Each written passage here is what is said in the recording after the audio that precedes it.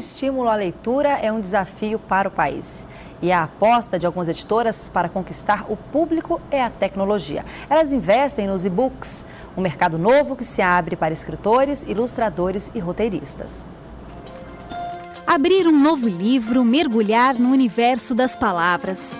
A experiência da leitura é única. O livro te dá total liberdade para viajar nas suas ideias, naquilo que está escrito ali. Eu gosto muito de aventura. Eu gosto de livro de princesa. Mas para fazer sucesso com os pequenos, também é preciso apostar na tecnologia.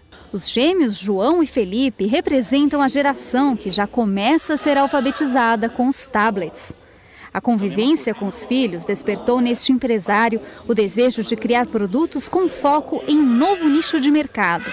Já são cinco livros lançados no formato digital e interativo, com temas bíblicos e pedagógicos. Qual é o atrativo das crianças? Dos games, a interatividade dos games. Então trouxemos essa interatividade dos games para dentro da literatura. E aí nasceu o que nós estamos chamando de livros digitais interativos. Cinco profissionais se dedicam exclusivamente aos livros interativos. Um processo que passa pelo desenho das figuras, pela animação, pela redação dos textos e pela programação. É encontrar essa harmonia entre a, a linguagem formal e a coloquial.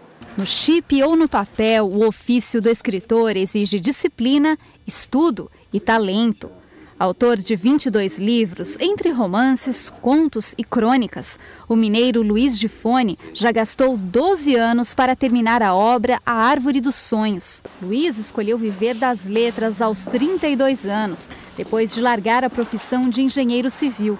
E hoje sabe que a própria história pode ajudar a despertar jovens talentos da literatura. Isso fica para os escritores mais novos.